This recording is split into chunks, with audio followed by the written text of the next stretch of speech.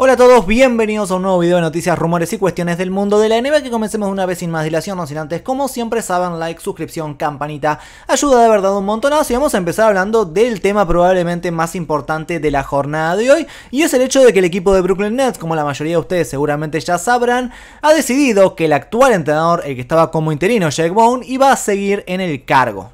Udoka descartadísimo, y el entrenador seguirá en su cargo y esto es importante porque hoy hice un video hablando de esto pero no lo comenté porque todavía no se sabía. Le han hecho contrato por toda esta temporada y la que viene también, es decir que por el próximo eh, año y medio si se quiere este será el entrenador del equipo de Brooklyn Nets, salvo que le vaya especialmente mal y que decidan hacer alguna que otra cosita más. Pero bueno, se lo ha ganado, realmente ha hecho un buen trabajo. El que quiera saber y entender un poquito más de esto, le dejo el video por allá arriba en el que hablé un poquito de quién es este entrenador, qué le puede dar al equipo de Brooklyn y por qué han tomado esa decisión. Y bueno, vayan a ahondar allí, pero es interesante destacar que tendrá contrato también la temporada próxima. Por otra parte, ya que estamos hilamos una cosa con la otra, Wojnarowski comenta que Udoka volverá a entrenar a la NBA. Dice, puede entrenar tan pronto como sea posible quizás esta temporada en algún otro lugar. Creo, dice, que muchos equipos solo están en preparación y han empezado a hacer su debida diligencia en la situación de Udoka. Es decir, dice Wojnarowski que ya hay varios equipos que están mirando muy de reojo la situación de Udoka como para tratar de llevárselo si es que eventualmente eh, terminan cambiando de entrenador. No sé yo cuáles serán esos equipos realmente, pues no se me ocurren muchos que estén por cambiar de técnico. ¿Quién, quién, nadie empezó tan mal, digamos, que no esté eh, a día de hoy eh, preparado para eso, digamos, porque bueno, uno sospechaba ya de por sí que, que Orlando muy bien no iba a arrancar, o que Oklahoma iba a andar más o menos, o que Houston tampoco iba a andar muy bien al menos esta temporada. O sea, los que están abajo en la tabla, casi todos, van ahí más o menos y tienen entrenadores a futuro. Oklahoma quizás, no lo sé, pero realmente es, rara la situación. Pero dicho esto, Ganarowski tiene eh, el presentimiento, si se quiere, eh, de que va, va, a dirigir muy pronto Udoka y que sí que hay varios equipos eh, que van a estar ahí mirando muy de reojo esta situación a ver qué pasa con el entrenador, podríamos decir, de Boston Celtics. Bueno, ex entrenador, entrenador suspendido, como quieran llamarlo. Por otra parte, ya que estamos hablando del equipo de Brooklyn Nets, estuvo hablando Wojnarowski de la situación de Kyrie Irving. Dice Wojnarowski que hay mucho en juego todavía. Dice, no hay garantías de que Irving regrese al final de esta suspensión de 5 juegos. Es decir, que puede pasar realmente cualquier cosa. Que no daría él por descontado que Irving va a regresar. Es extraño también todo esto, ¿no? Veremos a ver qué sucede. Porque hoy justo curiosamente les comenté también que Irving no fue puesto en el listado de jugadores no disponibles para el equipo de Brooklyn. Por lo que uno se preguntaba qué está pasando. ¿Fue simplemente un error o pasó algo? Pero Wojnarowski ahora mismo dice que los cinco partidos se van a cumplir y que no se sabe qué va a pasar incluso después, que es probable que lo suspendan un poco más, o para siempre, de Brooklyn al menos, no vuelva a jugar esta temporada, o vaya uno a saber. Habrá que ver, ¿no? Qué pasa por allí y qué sucede con Irving de aquí a lo que se viene. Ya que estamos hablando de Irving, en el día de hoy desde el New York Post eh, pusieron una nota bastante interesante. Es un medio medio amarillista el New York Post. Yo no pondría las manos en el fuego por ellos. Pero lo que comenta en este caso Brian Lewis es que un scout de la NBA le dice, no podría creer lo que estaba viendo. Nash llamaba una jugada, digamos, mandaba a hacer una jugada, e Irving ejecutaba todo lo contrario, dice, nunca había visto algo así. Y la verdad es que no sé cuánto eh, es de cierto en esto, pero sí se notaba que Irving iba por lo suyo. O sea, no, no hacía mucho caso ni a Nash ni a nadie. La verdad, iba por su juego, iba por su manera, por su, por su isolation, por sus puntos. Pero no jugaba muy en equipo. Eso sí que se veía. Reitero, no sé cuánto de cierto hay en esto. Dice, según los informes, Irving se saltó las llamadas de Steve Nash más de 10 veces por juego. O sea, que se notaba que había una discrepancia muy grande. Eh, reitero, no sé yo cuán de cierto hay de esto, pero viendo los partidos uno podría llegar a sospechar que no está muy lejos tampoco de lo que puede pasar. ¿eh? Así que, bueno, a partir de esto también la situación de Irving, seguramente esto puertas adentro de Brooklyn debe ser todo un tema, ¿no? Debe ser todo un tema de debate, veremos cómo lo resuelven, saliendo un poco de Brooklyn, pero en el día de hoy justo Brooklyn juega contra los Knicks y a partir de esto le preguntaron a Julius Randle en este caso, qué pensaba de toda la situación de Brooklyn a día de hoy. Y dice Randall, bueno, ese es su problema. Nosotros acá estamos todo bien en Nick Land, dice Julio Randall, que está muy contento. La verdad es que nada que ver Randall la temporada esta con la anterior. Nada que ver. O sea, se nota Totalmente una dinámica diferente para Randall, para los Knicks en general, es otro equipo pareciera. Es claramente otro equipo, un equipo que ha arrancado mucho mejor, se los ve, reitero, más contentos, más felices a todos.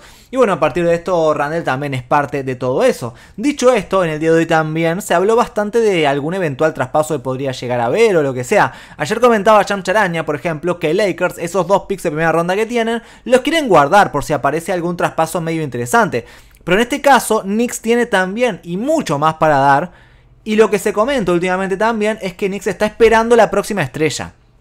Knicks está acaparando selecciones de primera ronda, esperando a la próxima mega estrella disponible. Knicks podría llegar a traspasar unas 8 primeras rondas o algo por el estilo los próximos años, que no es poca cosa. O sea, si, si hay alguna estrella por ahí en la vuelta y Knicks da 8 primeras rondas y algún jugador joven que pueda llegar a dar o lo que sea, tienen un traspaso muy viable, la verdad, hay que decirlo todo, tienen un traspaso muy factible por allí. Los Knicks, claramente ellos no estaban dispuestos a dar eh, todo eso por Donovan Mitchell, claramente no.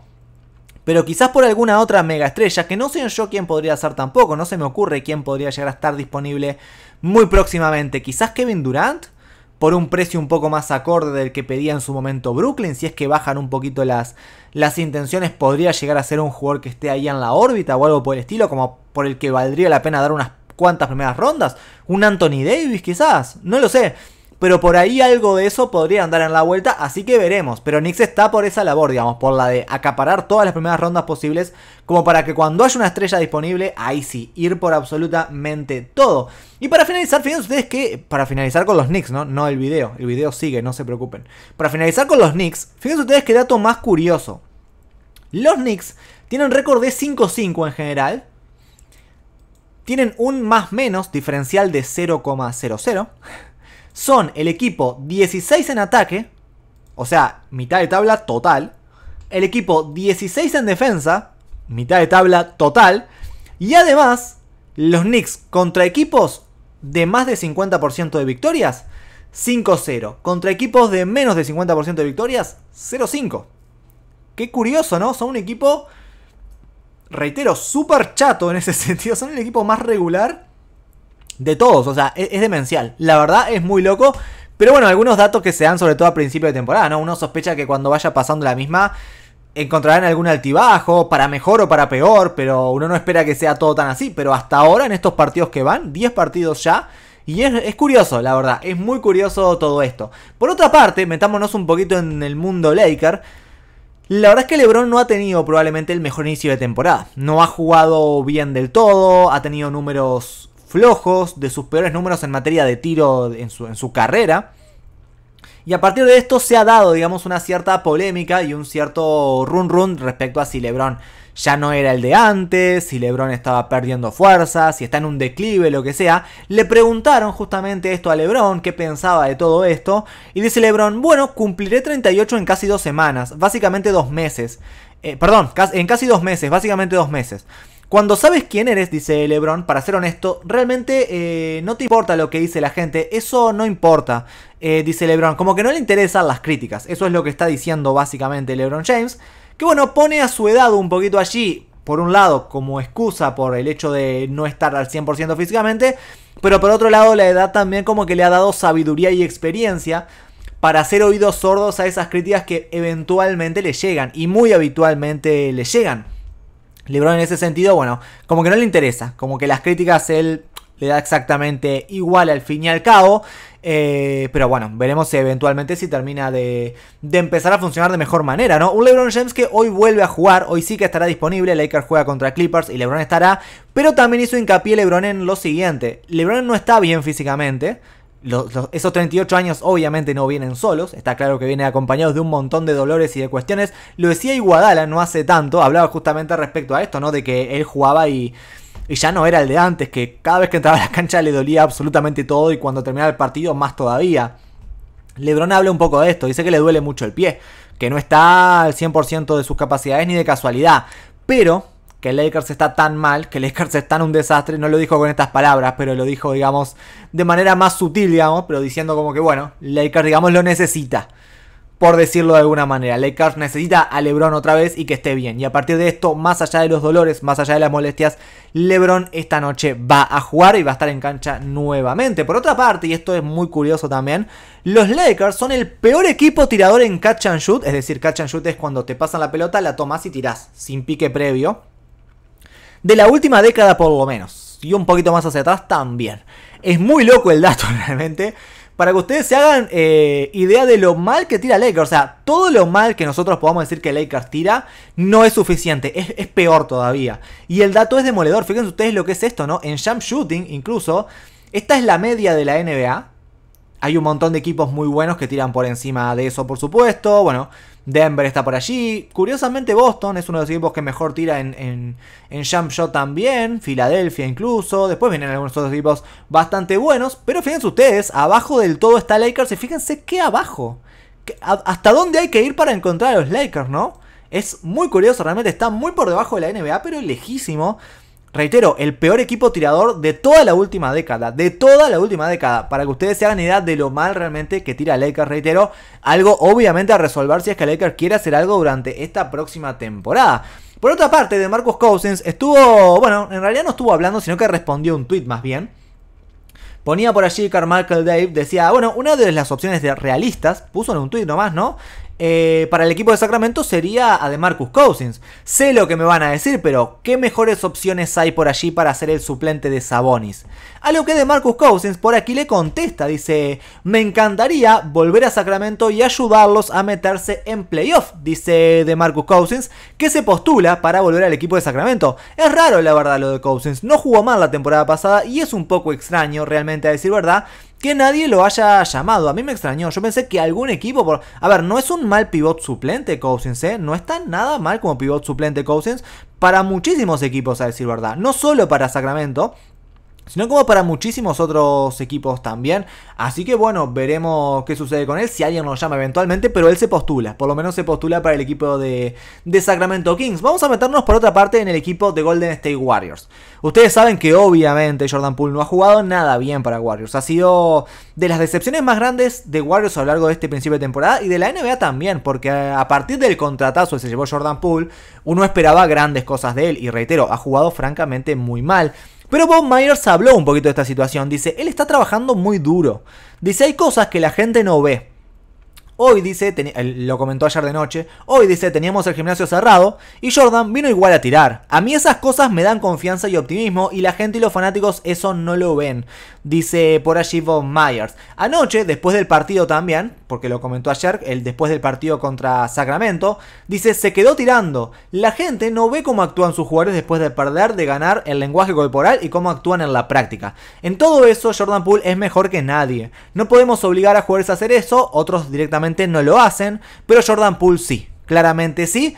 Y realmente a partir de esto, los elogios de eh, la franquicia para con Jordan, de, en este caso el general manager. La verdad es que se ve que Jordan es un chico que le pone mucho entusiasmo. Lamentablemente, de todas formas, no ha jugado para nada bien en este principio de temporada.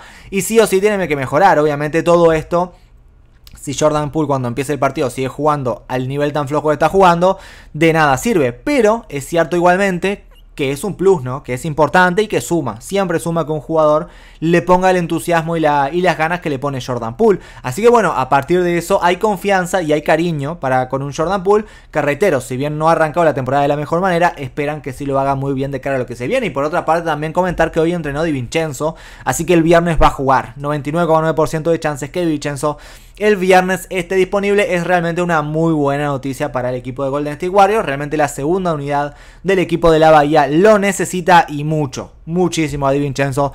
Como para poner un poquito de ganas, como para defender, meter algún triple de vez en cuando. La verdad es que el equipo lo extraña y bastante a Di Vincenzo que ha podido jugar bastante poco en este inicio, lamentablemente porque las lesiones lo han tenido un poquito a mal traer. Por otra parte, Jared Allen está súper contento de estar en el equipo de Cleveland Cavaliers. Dice, nadie ve a Cleveland como, oh, quiero ir allá. Pero una vez que llegué aquí, fue como, quiero estar aquí. Pensé que simplemente encajaba bien. Dice eh, justamente Jarrett Allen, dice, realmente me gusta Cleveland, me gustan los entrenadores, el equipo, me gusta jugar acá, me gusta estar acá. Está contento Jarrett Allen, la verdad. Está muy contento y está jugando muy bien además. Y Cleveland va muy bien, o sea... va todo muy hacia arriba la situación de, de Cleveland ahora mismo, así que a partir de eso, por supuesto, que Jarrett Allen está súper contento de cara a lo que se viene. Por otra parte, también comentar que a día de hoy estas son, eh, bueno, las, el rookie líder, digamos, según NBA.com. Estas son las, las cuestiones. Eh, Banchero va primero. Obviamente Banchero es el 1 ahora mismo. Pero Maturín está jugando muy bien. ¿eh? No se duerman con Maturín que está jugando muy bien. Ya de Nibi tercero, Kegan Murray cuarto. Veremos cómo termina todo. Pero por ahora, con estos primeros más o menos 10 partidos de temporada, así va la cuestión. Y hoy tenemos una cantidad de partidos alucinante. A primerísima hora tenemos el partido entre el equipo de Dallas Mavericks contra Orlando. Es muy temprano, no, no lo pierdan de vista porque eh, hay riesgo de, tornado o algo así, alguna inclemencia climática medio, medio fuerte en, en Florida en general, ojalá que, ojalá que no pase nada, o, no sea para tanto, ojalá, pero está complicada la cuestión ahí. Saludos para la gente que me ve desde ahí, ojalá reitero que, que no sea nada, por favor. Por otra parte, Blazer juega contra, contra Hornets, el equipo de eh, Denver juega contra Indiana Pacers, Utah Jazz va contra el equipo de Atlanta Hawks, Detroit va con Boston, Knicks, como les decía anteriormente, va contra el equipo de Brooklyn Nets, Rockets contra Toronto. El equipo de Pelicans va contra ni más ni menos que los Chicago Bulls, lindo partido ese. El equipo de Phoenix, no estará Chris Paul, va contra los Minnesota Timberwolves. Bucks contra Oklahoma City, Grizzlies contra el equipo de San Antonio. Duelo de eh, Los Ángeles entre Lakers y Clippers. Y para finalizar también Cleveland va contra los Sacramento Kings. Muy lindos partidos, un montón realmente variados, muy variados para gusto de todos. Juegan casi todos los equipos en el día de hoy. Tenemos 10... No, eh, 13 partidos creo que son. 1, 2, 3, 4, 5, 6, 7. son 13 partidos, 26 equipos jugando, o sea, solamente 4 quedan sin jugar. Así que todo muy variado para que nadie se queje. Así que bueno, hasta aquí el video. Si les gustó, como siempre saben, like, suscripción, campanita ayuda de verdad un montonazo. Muchísimas gracias a todos, por supuesto, por haber llegado hasta aquí y nos vemos la próxima.